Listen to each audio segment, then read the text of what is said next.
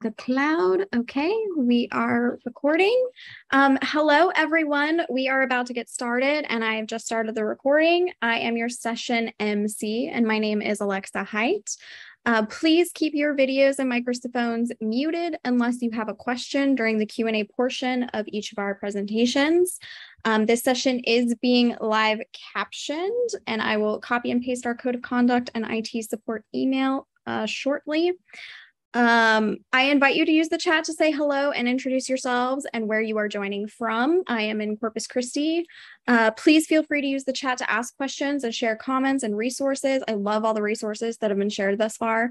Uh, you may also ask for assistance in chat or ask questions anonymously by messaging me directly in the chat. We will have time at the end of uh, for Q&A and we'll save your questions for our speakers until then. I will do my best to acknowledge questions as received and ask your questions in the order that I receive them. Uh, presenters are welcome to answer questions directly in the chat. Um, and now we are going to begin recording. Oh, I was supposed to wait until that. Um, welcome to today, today's session of Open Texas 2022. I am Alexa Height with the Open Texas Conference Committee, and I'm emceeing this session. Thank you for joining us today for our show and fail uh, session. Again, please mute your microphones and turn off your video feed. Um, and I am going to stop sharing so I can let our first presenter, Amanda, um, take us away.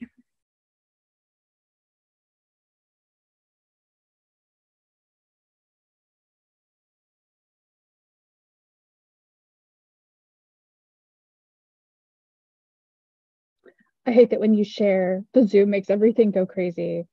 Um, hi, everybody. I'm Amanda Larson, and I will be presenting today. No matter how you build it, they won't come.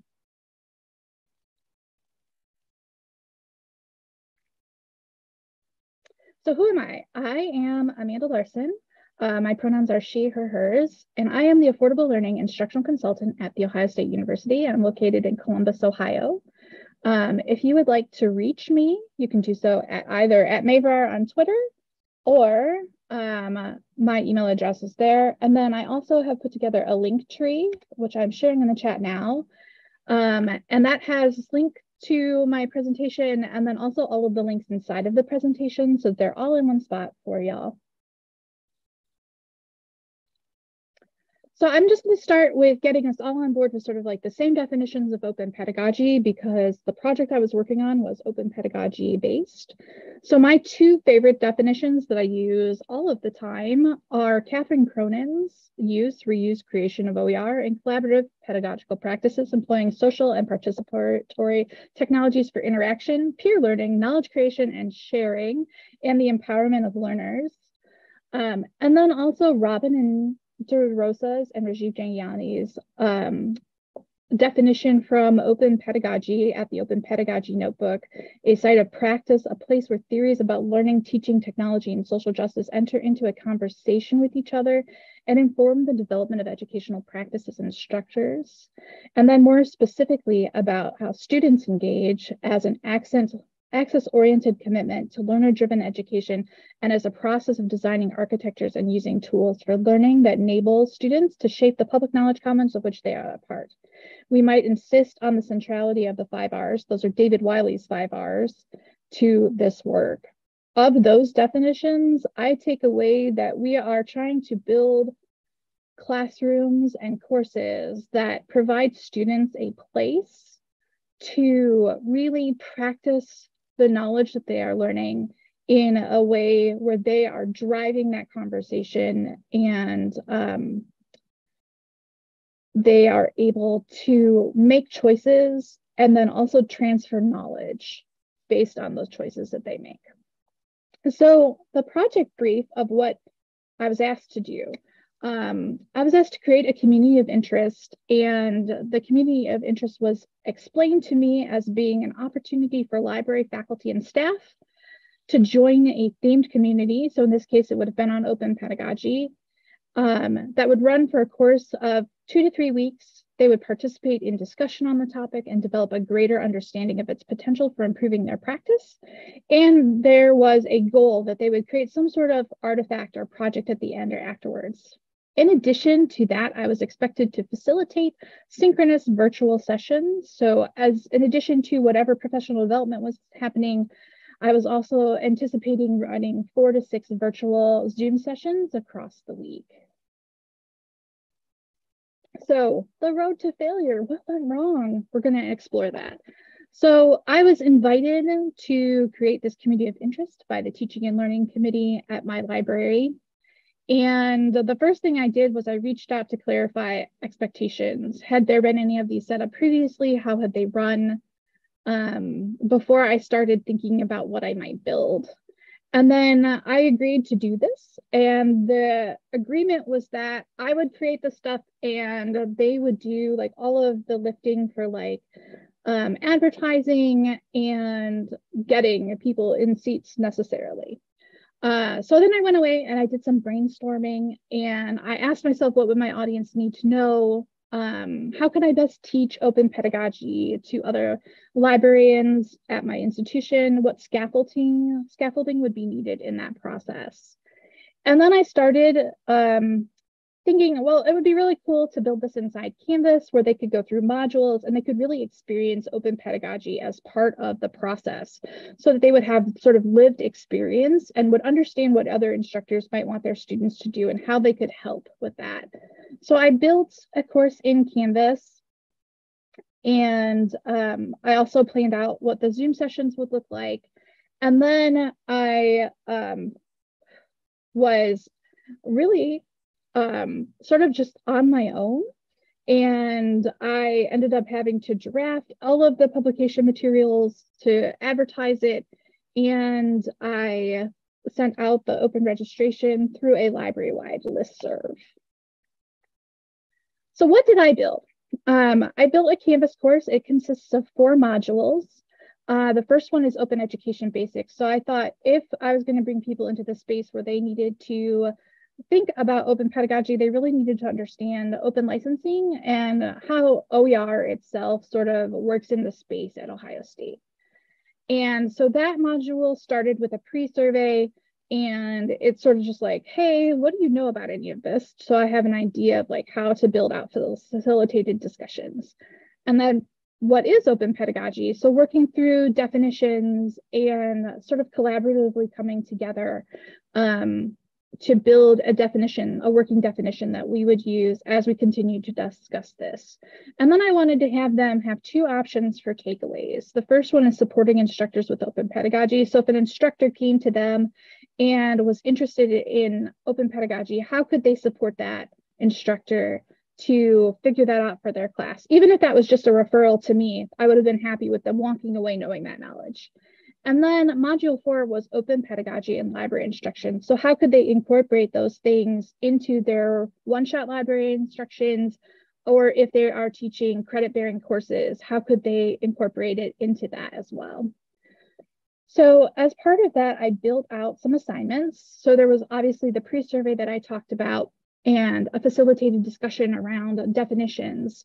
And then I wanted them to try out social annotation. That's my go-to recommendation for replacing a disposable assignment with a renewable assignment is, hey, let's try hypothesis and maybe get rid of a discussion board post. Um, and then I had them I was going to have them work on building a worksheet template that they could use with instructors so that they had a set list of things and common questions that they would ask if an instructor came for help. And then uh, for a final project, I had envisioned them creating or or modifying a lesson plan for library instruction. So maybe they would go to Project Cora and find an openly licensed library instruction lesson and then revise it to meet their needs and also to include some open pedagogy elements. And then um, I had a post survey to see, to assess where they had come from. And then I also had four sessions built out for the discussion of the week's topic or for them to ask me any questions during that time. And it was just going to be space that was held for them to really be able to engage as deeply as they wanted to. So the breaking point, again, advertisement. So just my single registration to News Notes went out. There wasn't any of the support that I was promised. Um, and then at the same time, COVID was just happening and we had just all transitioned to work from home. Um, and people might have been burnt out from all of the professional development that was cropping up simultaneously and were like burdened with choice. And then culture issue. Um, so folks are burnt out at, with that, but also um, there's a culture of people not attending things at our library, even when they say they want to. So I love failure. When I saw that there was going to be a, a show and fail, I was so excited because I love talking about failing. So what ended up happening is that I had to cancel the registration because only one person signed up. And in order for the assignments to work, I needed at least four students so that they would be able to engage with each other. Um, and what I think is important about failure is like really things don't work out sometimes, and that's okay. But if you spend time making things, there are often ways that you can use those things later. So, what have I done with the materials that I've made? Um, so, ALX is the Affordable Learning Exchange at our institution. And this last cohort of grant winners, they introduced a ALX, ALX Foundations course. And I was able to transition that material into an open education basics module and then the open pedagogy module. And so instructors were able to use that material. And then also related to um, grant winners, I was able to transition some of that module content also into a new course called Teaching with OER that I use to support a first year writing program who's hoping to transition their whole program into using OER and open pedagogy in the classroom. And um, that's a really big win for the grant program, but it's also a really big win for like coming out of this failure. Um, and then as a group in teaching and learning, where my position is situated, uh, we built an instructor resources site and I was able to transition that module content into a web page for affordable educational resources so that it's still there broadly available to folks at my institution. And then even better, um, I was asked to create a course for KPU's professional program in open education.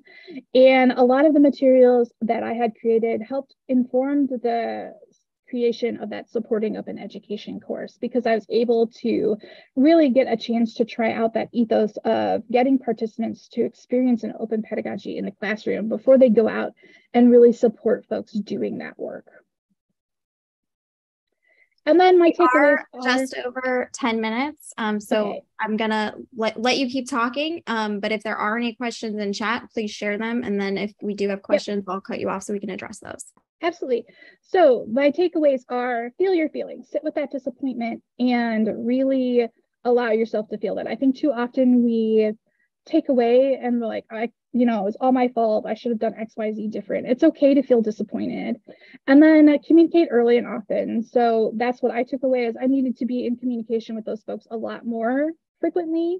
And then reuse and recycle content. You spent all of the time working on something. There's no reason why you can't use it to continue, and then iterate and grow on what you've built. Um, not succeeding at one particular workshop or professional development experience isn't the end of the world. And that's it for me. Awesome. Thank you so much. Um, again, if you do have questions, please share them in the chat. Okay, so um, Jackie has a question. What OER does the FYC program use primarily? So they're using a compilation of a bunch of different stuff that they found. There isn't one specific text that I can point you to. Um, they worked with a librarian to source some library resources, as well as uh, hired a graduate assistant to help them curate OER for the course. So unfortunately, I can't be like they use this particular writing textbook, but they they built their own compilation, and then instructors get to pick and choose from those what they use. Excellent, thank you. Um, just because we are so um, pressed for time in this session, I am going to pass it off to Carl and Meredith. Um, and once they get started, I will start the 10 minute timer for y'all.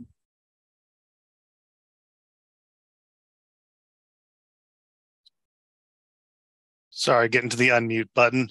So I am Carl Hess. I'm presenting with Dr. Meredith Boulden, Director of our Center of Writing Communication, though at the time we're talking about here, she was actually GA for the libraries on the grant that's mentioned in the title, which, as you may notice, great minds think alike. This is if you build it, they might not come. So, to kind of go through our kind of structure today, we're going to talk about first what was supposed to happen, what actually did happen, and what we took out of all of that. So, the grant in question is a 2021 Tennessee Board of Regents Open Educational Resources Grant given to the University of Memphis. And we've done the collaboration between departments of education, English, mathematics, and the university libraries. And the goal was to use OER to incorporate diversity, equity, inclusion, and social justice into the curriculum as an outgrowth of a anti-racist movement that the University of Memphis started in 2020 and then was told to stop by the state of Tennessee, but that's a different show and fail. Anyway, so we part of that we were going to implement OER sections of a few major general education courses. This we're going to do two math courses, probability and statistics and college algebra, and two English courses, literary heritage and literary heritage African American lit. And the job of the university libraries was going to be to provide training to the faculty and staff on OER. Now, this meant that over the time of 2021, during the spring, we were going to collect together resources, build our training, give them options for finding things for those four courses, overview basic OER concepts. Then in the summer, we would do a live session with the faculty from those two departments who would be re- leading these sessions. And then as they worked on their curricula during the rest of the summer, we would provide one-on-one need, you know, support as needed so that by the time they come into the fall and teach those courses, they would be ready to go. Now, we were given in the grant language an explicit requirement to train at least 25 participants as part of the assessment. The other departments who were actually incorporating this did not have requirements for number of sections led, number of faculty involved, number of faculty will be trained, and foreshadowing, that's going to come up as Meredith talks about what actually happened. Which was delightful. Can you go to the next slide, Carl? Uh, as Carl mentioned, uh, our first step was to essentially understand what OER was. Um, I was the first employee hired on the grant. Carl came in shortly thereafter, and I had no idea what formal OER was. So I did several months of research. I started compiling all of this information into uh, the LibGuide that you see the homepage for right here. Carl has since um, broadly, broadly expanded it, and it's amazing and wonderful and all the things. But this was the kind of um, the basis for what our training was going to look like eventually when we got to that part in the grant where, where we would actually be training the faculty. Carl, next slide. Um, one of the key components uh, and one of the main reasons why we were able to get this grant was again the inclusion or the focus, if you will, on DEI. And we had the support of our diversity officer, um, who's the vice president of student academic success. She wasn't actually one of the PIs, but she was sort of tangentially kind of uh, pushing us from the sidelines to get this work done. Um, and in the meantime, the lead PI for the grant was supposed to compose the DEI material and research um, that we were going to link out to uh, in our training and on the LibGuide. And we waited and we waited and we waited some more. And finally, the week before uh, our meeting with our provost, can move to the next slide, I was asked to uh, add information myself as the GA. So instead of the actual PI who's full time faculty, I was asked as, as the GA to compose or um, compile this DEI information. So what you see on the left is just simply the tabs for DEI, um, some of the research that we found, as well as some of the initiatives both statewide and here at the University of Memphis in terms of DEI and OER. On the right, you also see that uh, during the second round of this grant, which I'll get to in a moment, uh, I was again asked to compose the DEI material, uh, some of which I plagiarized slash borrowed from the original grant language and some of which I composed myself. Next slide. As Carl mentioned, our training did not exactly turn out the way we thought it was going to. Explicitly uh, in the grant materials, we were supposed to train 25 faculty, which we assumed would be coming from the math and English departments, since those were the faculty who would be piloting the OER in the fall of 2021. However, after we were able to present this material, um, move to the next slide, please, sir. We wound up uh, being told by our PIs outside of our PI here at the library that none of the faculty in either the English or the math departments actually needed OER training. Instead, uh, the Dean of Libraries, who was our immediate um, boss, if you will, had us pilot the training at the Library Administrative Council meeting to the research and instructional staff, uh, both of whom Carl and I worked slash worked for. We had an open library all invitation to a hybrid session that we conducted in an instructional room here at the main library. And then I wound up having a one off session with one of the English instructors who was recruited two weeks before school started um, to find some of the OER. She had no idea where to look, no idea about the licensing, none, none of the things that we were going to do the training for back in the spring. Ultimately, we recorded our hybrid session and posted it to the LibGuide that we had already created. Next slide. One of the other things that we had been asked to do, I wasn't explicitly a part of the grant uh, language, but we were asked to compile the hmm. OER that had been used during these pilot sections of the English and math courses. One of the English instructors moved away before anyone asked her to hand over the OER or the links to the OER that she had used for her course. I could not get the name of the second instructor until the last week of the grant. And we discovered that the both the PI and the GAs who worked on the math OER, they created their own for both courses. They did not understand the basic concepts of Creative Commons licensing, sharing the materials, and they were unwilling to share them with me for the purposes of republishing them, even on our own like University of Memphis hubs on Merlot and OER Commons. So ultimately, we just dropped it. These are screenshots of OER Commons, our modules for those departments, and you see that they're all empty. We also discovered, so in the spring of this year, I had already graduated, but I was contacted by our dean at here the library again. And he said that there was a final project, there was some money left over. We were asked to create a quick start guide for the faculty. Um, during this process, I discovered that the Tennessee Board of Regents had also offered a grant to another set of PIs here on campus. And I contacted, contacted our lead PI and I said, hey, so they don't have to, you know, duplicate all those months of research. Um, could we just get in touch with them and let them know that, you know, they don't have to reinvent the wheel? And this is a direct quote from the email that I received in reply that it was not time efficient to initiate that relationship. Instead, I sent this person a list of the faculty and um, their email addresses in the event that they ever wanted to collaborate at some point in the future. Next slide. As for this quick start guide, this is the delight or my absolute delight of our entire grant process. Again, we were at the tail end of the grant. The funding was going to be returned to the state at the end of our fiscal year if we didn't use it. Without consulting Carl, who has access to the usage statistics for our LibGuide, they told me that faculty were not using the LibGuide and that we needed to create a quote print document. They recruited one GA from instructional design to assist me with this process, and we spent the better part of two months uh, creating said guide, um, including with interactive uh, like assignments, if you will, a reflection page, QR codes for the various websites that we um, were consulting to our various hubs in Merlot and OER Commons, so forth and so on.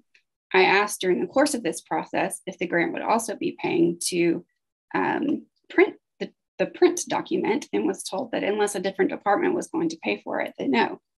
Ultimately, you will see on the next slide, I laugh every time I see this, but this is again our homepage to our OER LibGuide, and that is where the Quick Start Guide landed. And that is also where it is today. It's not been printed or distributed to the faculty on our campus. It's in the same place that we were told originally faculty are not, quote, using. Nathan, I love that. um, that's all for me, folks, but it was amazing.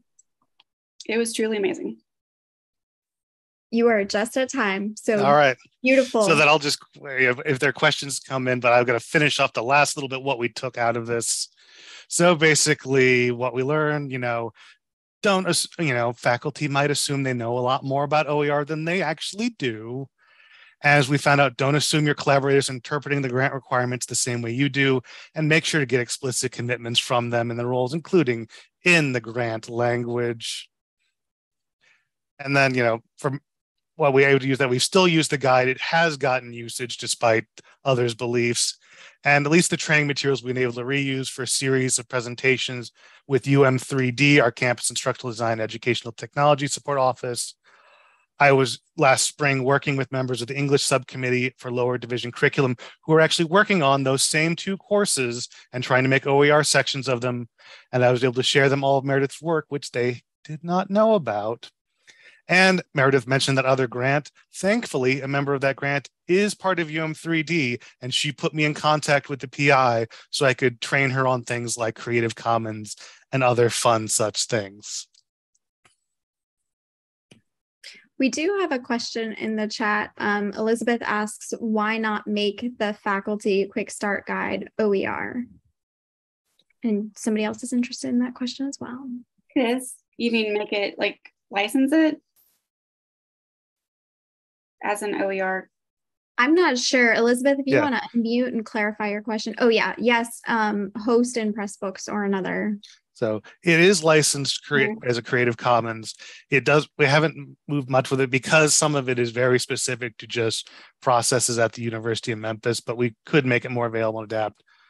And we could probably use a free Pressbook hope thing since we do not have a institutional Pressbook account. But there are probably ways we could make it more widely available. But it's also just kind of a summarization of the stuff that's on the guide, which is also Creative Commons licensed and freely available. Mm-hmm. Yeah, everything that we've created is is licensed just uh, by license.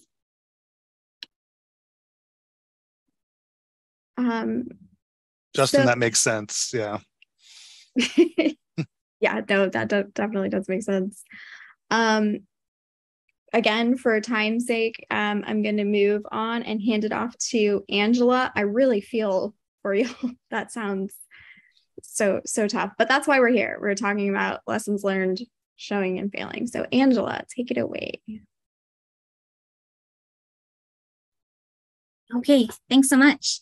Um, hello everyone. My name is angela lucero um, i'm the scholarly communication librarian and head of research and instruction at uh, the library here at utep um, today i'm talking about um, well when i when i heard that we were going to that there was going to be a show and fail session, I was really excited because um, there was this incentive program that I was the co-director of, and it, did fail. You know, it didn't achieve what it was, what it meant, what we meant for it to. And I'd spent a lot of time, you know, uh, examining, you know, the, the whole the whole timeline. And so I'm really glad to be able to talk about it, and um, hopefully you can avoid some of these uh, some of these missteps. And I think that you know soon we'll notice some themes.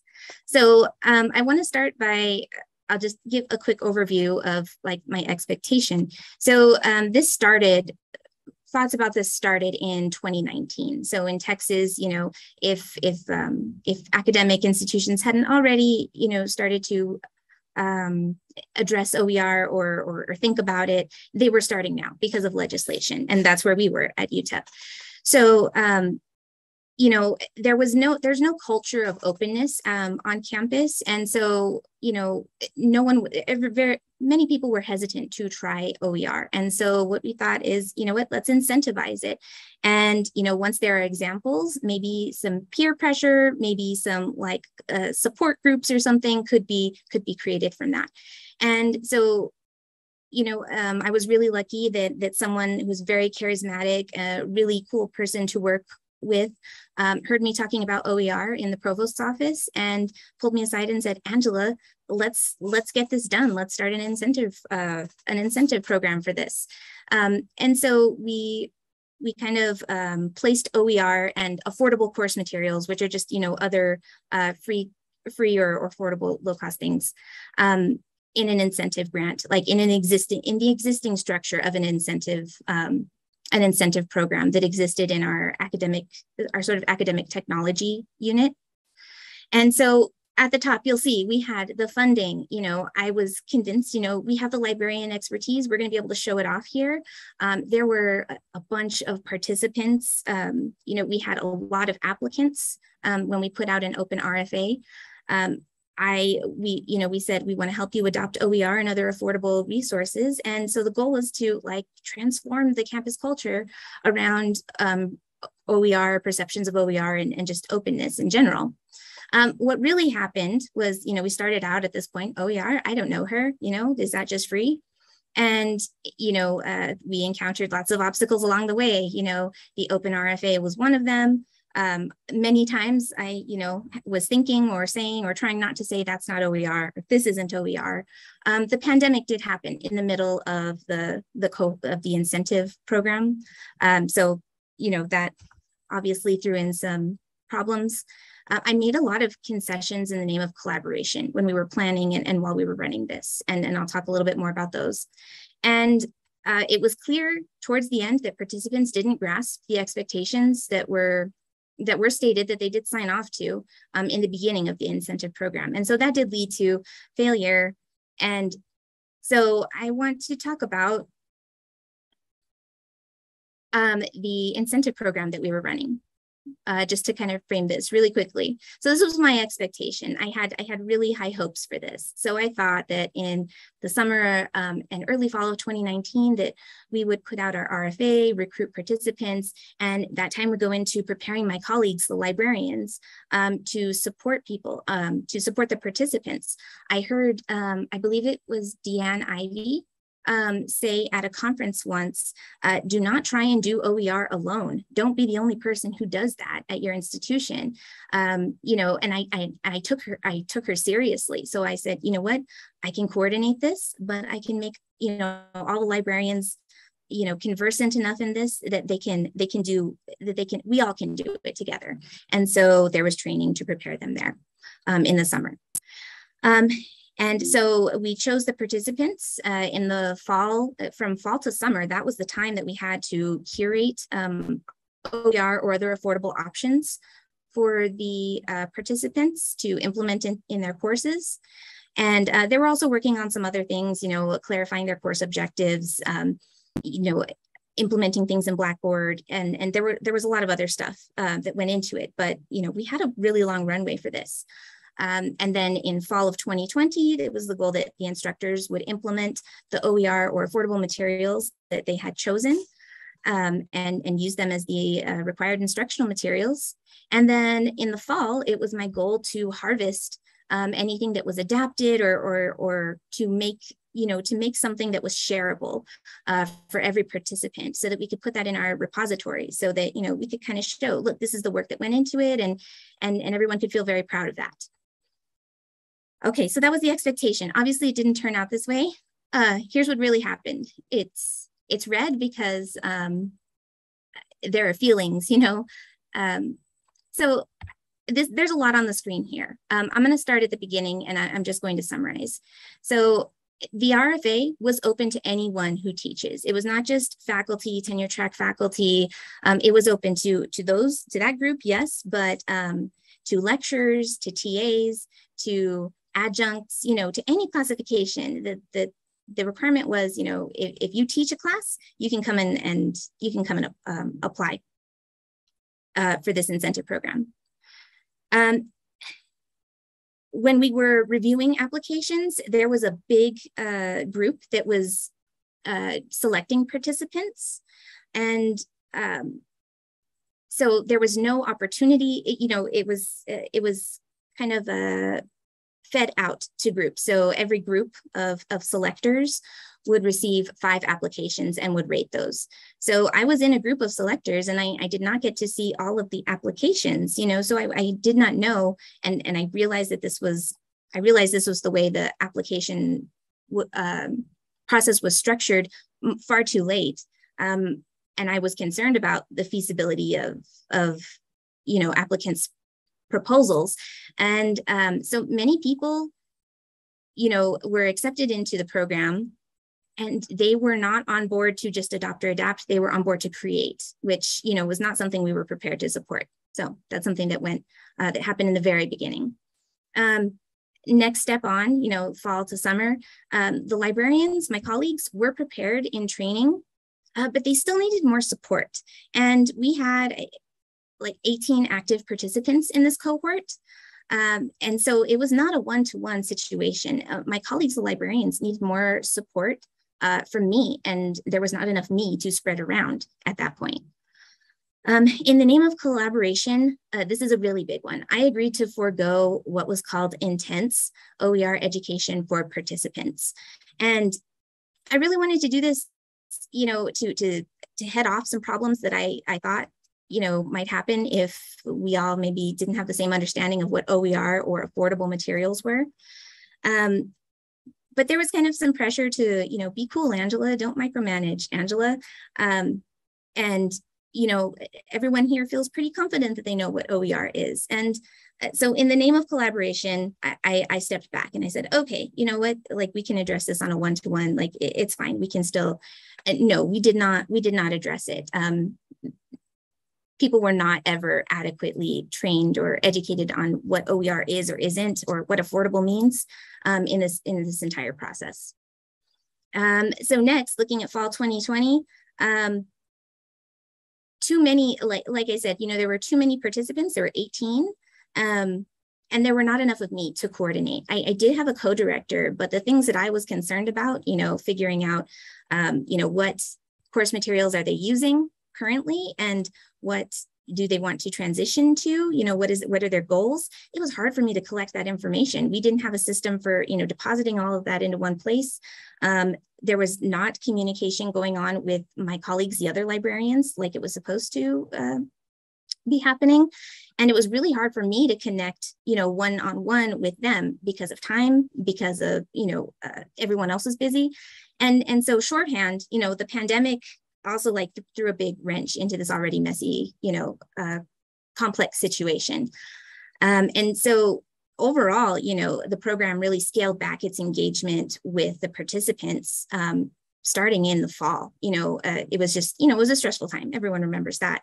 And so that, that made sense at the time. When it came time uh, for me to check in and see what was actually used and try to harvest materials, I found that there was nothing I could harvest. Uh, some people had adopted straight out, you know, some OER materials, but other things were open access that you could not reuse or share or modify.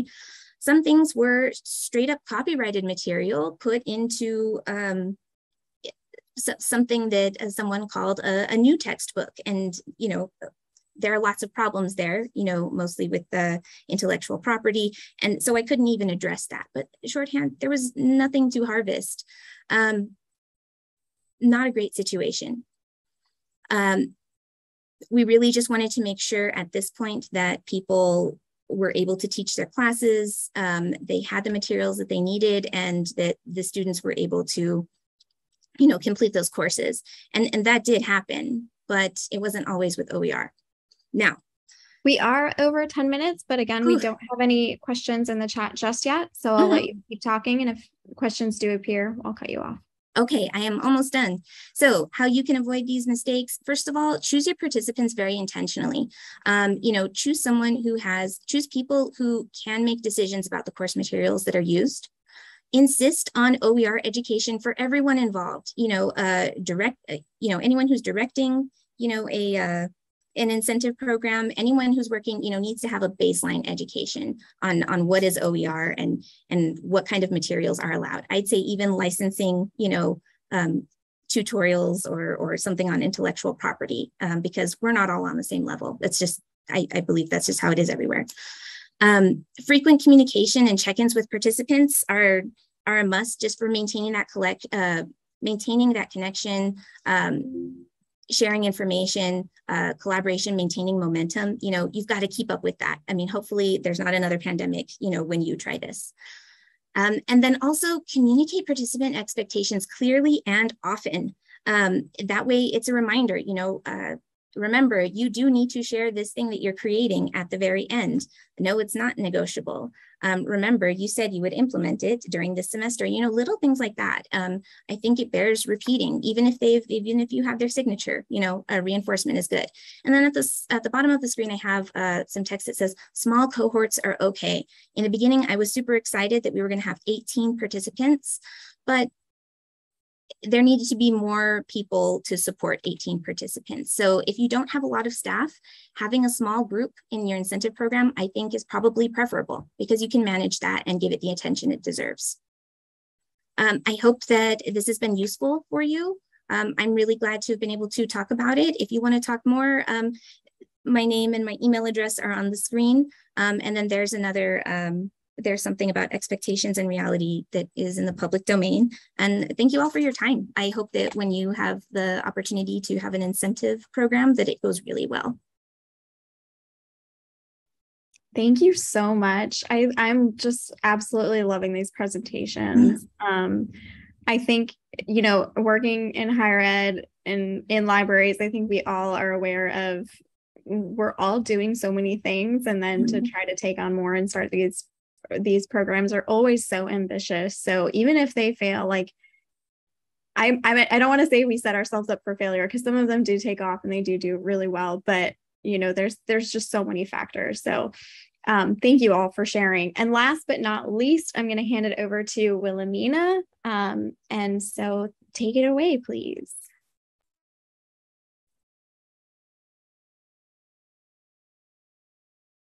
Oh, hello. I'm Wilhelmina Randtke, and I'm head of library systems and technologies at Georgia Southern University.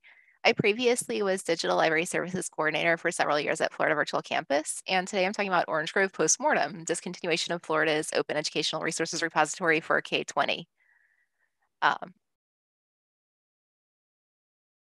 so first off, what was the Orange Grove? The Orange Grove was a repository of open educational resources. It formally launched in 2007 with about 500 learning objects. That was following a planning process which ran from around 2004 to 2007. Um, key principles that guided repository development was being able to meet SCORM standards. So being able to, if someone completes a lesson, to feed that information to a learning management system. Um, quality assurance process for included materials, following basic metadata standards, um, a focus on building user community, that idea that content requires management, um, content must be reusable in new teaching environments, and providing training in how to use the system. So we can flash forward to about two years ago, the Orange Grove was decommissioned on August 31st, 2020. And this presentation is about leading up to that. So the immediate crisis reason for the specific decommissioning date was that on July 1st, 2020, the governor of Florida defunded the Florida Virtual Campus Consortium as the FLVC.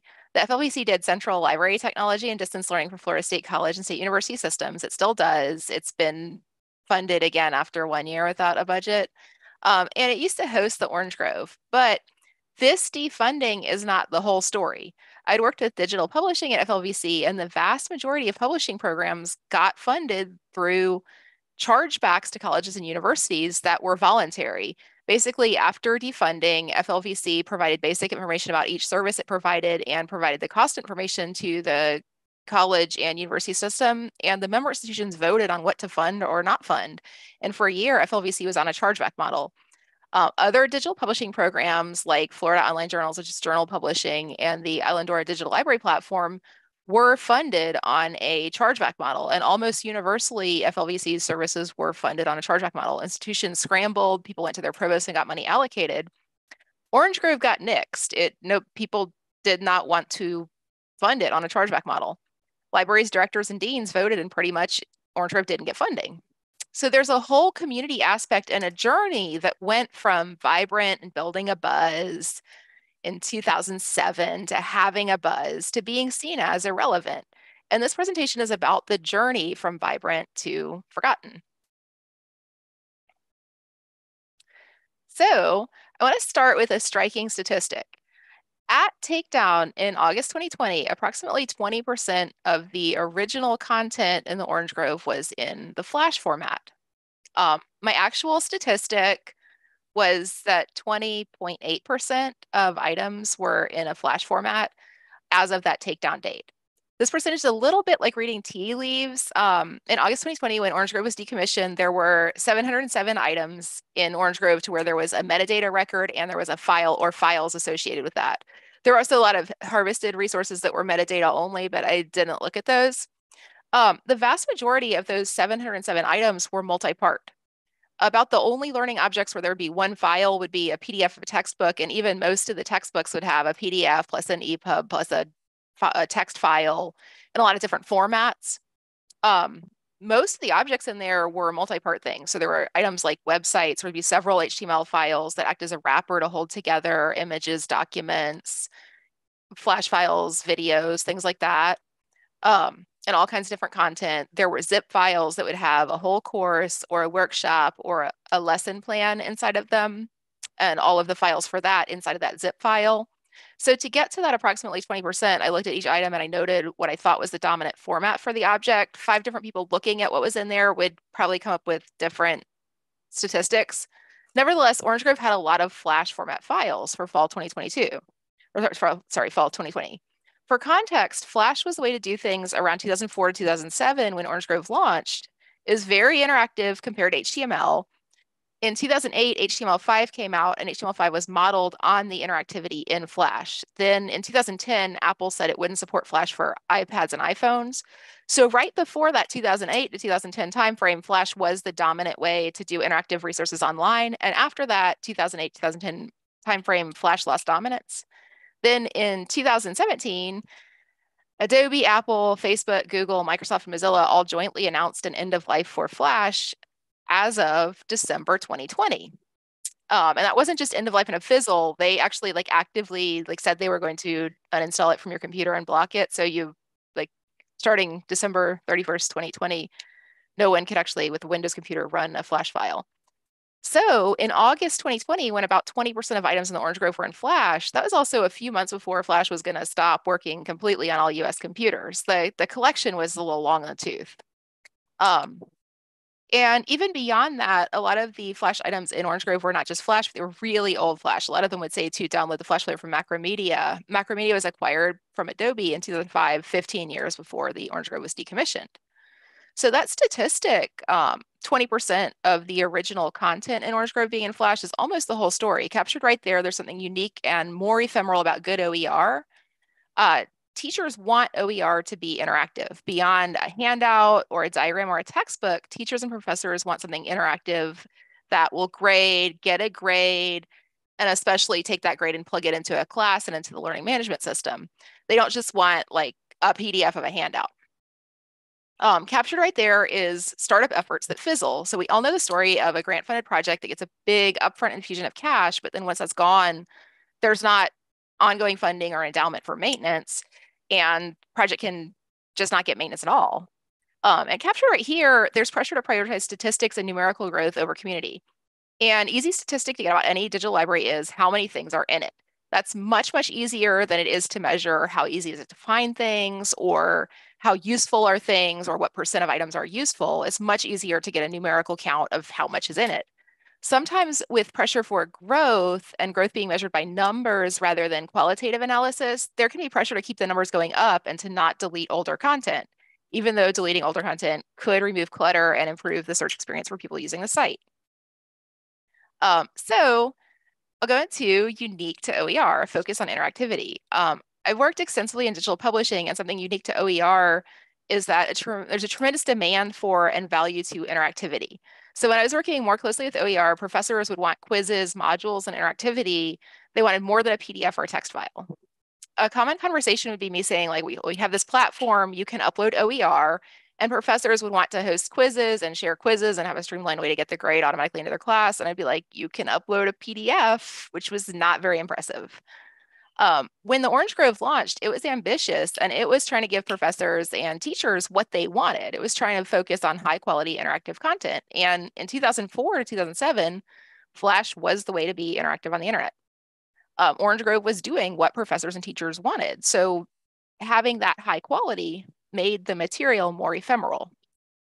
Uh, the catch to it is interactive software objects are more ephemeral. Updates or changes in technology are far more likely to break interactive files than to break a text file or photograph. A text file or a static picture is easier to manage over time. Something interactive is part of a whole software ecosystem. And when that ecosystem ages out, pieces get lost and eventually the file won't run. Um, there's also statistical pressure. It's usually easier to pull quantitative than qualitative data. So um, there can be a lot of pressure if you have resources for something to go and put more stuff as opposed to go through and curate and remove outdated stuff or go over and update stuff and make sure something that was really nice five years ago is really nice today. Um, doing an ongoing editorial review process can be harder to justify, or it can be like, well, you had all this stuff. What did you actually do with it? You have the same thing as you had um, there can be pressure to add and never update or remove because of the way we measure statistics. Um, then finally, there are issues with um, maintenance. So maintaining software content and community. Um, maintenance is a huge issue for all digital libraries. There's stories always happening, which is where a project starts with grant funding and energy, and then it's supposed to convert to sustaining funding, but that never happens. Orange Grove is a little different in that it started as a seed project, then went and got funding. So the pre-launch 2004 to 2007 time period when there was a lot of buzz was not grant funded. Then it got a grant in 2007 through Fund for the Improvement of Post-Secondary Education, and that went to funding a repository platform.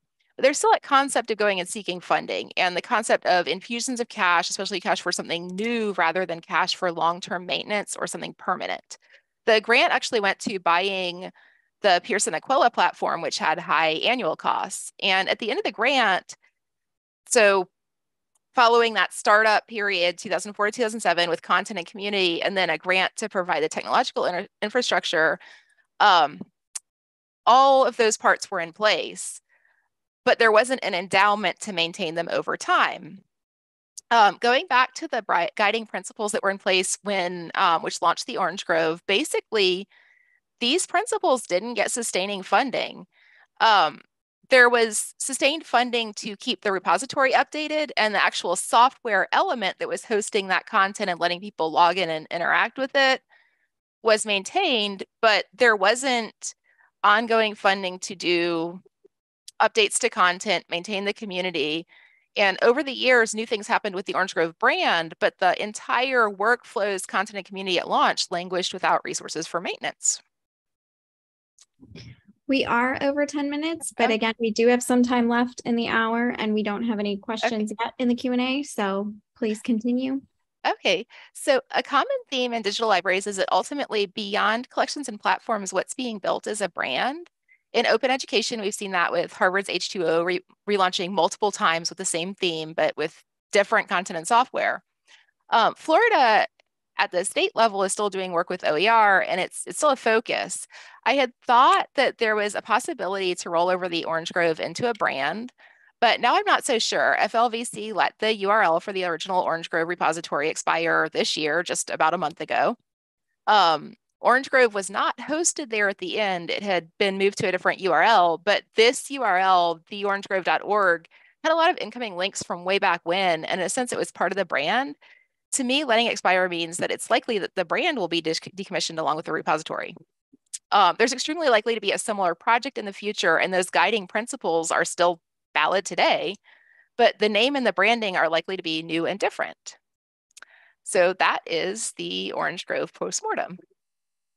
I guess, are there questions? Thank you so much. I had completely forgotten about Flash. Um, we had some some great comments in the chat. Um, you know, the funding when we think about sustainability of OER, um, we often think about funding and like the labor, right? Our theme for this year, but also in terms of um, what as you mentioned like uh, digital libraries often struggle with keeping things updated so that they are still accessible and usable. Um, that's incredible. Um, we do have it is now um, 154 so we have about five minutes left. If you have any questions oh there's one in the chat from angela. Do you think funding more oer repositories is a good direction given that there are existing repositories? Good question. I would say funding should go towards maintenance, like long-term maintenance, as opposed to building something new. Because even when I say the brand got used for other things, it was kind of like chasing trends. Like if you have a model where you're going to go get grant funding, grants say it's a grant for these types of projects. And if you have your guiding principles and they don't match up, like it's it's not a, a model I, I also I do feel that having fewer projects that are sustained predictably is a better way to go than having more projects that are not as predictably sustained but it's it's hard to say like there's a content there's your platform and there's your community and each of those is kind of resourced at a different level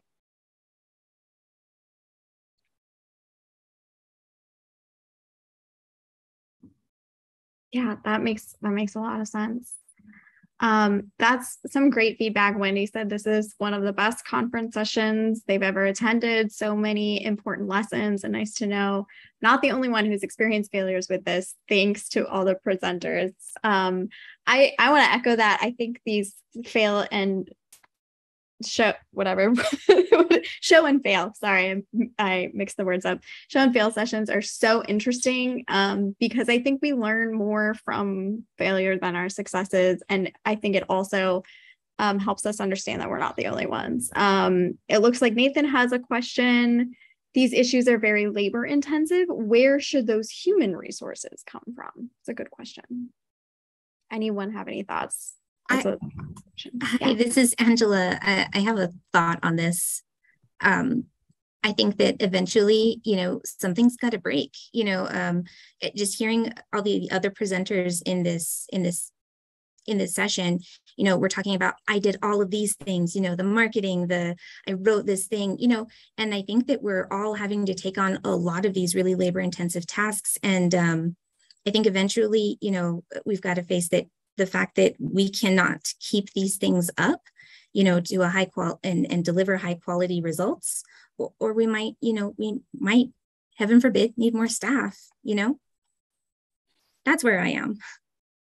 Angela, I, this is Meredith. I would uh, piggyback off of that and say I'm not actually like an MLS librarian. I was a GA, but I think that charging a graduate assistant with essentially building those first fundamental blocks of an OER program for an entire university of 22,000 plus students was something of a burden for me. Like I was terrified that I was going to screw it up. Um, but I also just think it's interesting, and I'm not sure what the solution is. That you know, one of the prisoners was actually a scholarly um, communications and, and librarian, and that's one of the things that we talked about. If we were able to fund that type of librarian for our library system, that that would fall under their set of responsibilities, but that it was still a difficult procedure despite having that title and kind of that under the auspices of your job description. In the meantime, the library's OER stuff is under me, who is the first year experienced librarian, under the logic from our associate dean that first year students use OER.